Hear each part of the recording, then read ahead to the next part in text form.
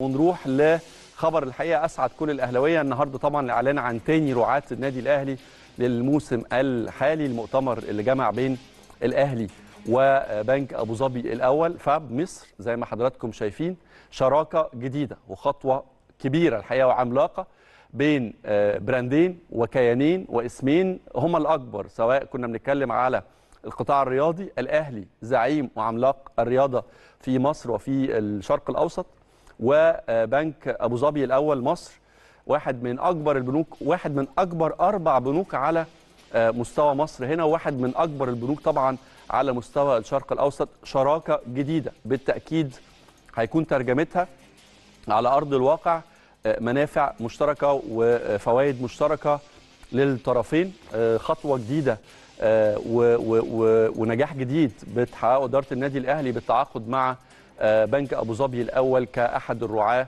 الأساسيين للأهلي في المواسم اللي جاية قبل المؤتمر ما يبدأ وقبل ما الفعاليات يعني ونسمع كلمة كابتن محمود الخطيب ونسمع كلمة السيد محمد فايز رئيس تنفيذي لبنك أبو ظبي مصر. أنا الحقيقة كان ليا شرف إن أنا قابلت يعني قيادات بنك أبو ظبي. وقعدنا يمكن قبل حتى المؤتمر ما يبدأ في حوالي ساعة كنا بنتكلم الحقيقة على الشراكة. الناس الحقيقة الفكرة زي ما قلت لكم برضو وزي ما حصل في التوقيع مع اتصالات مصر الفكرة مش فكرة دعاية وإعلان مش فكرة sponsor بيدفع فلوس عشان يتحط ال brand بتاعه على تي شيرت النادي الأهلي أو في ملعب النادي الأهلي لكنها شراكة.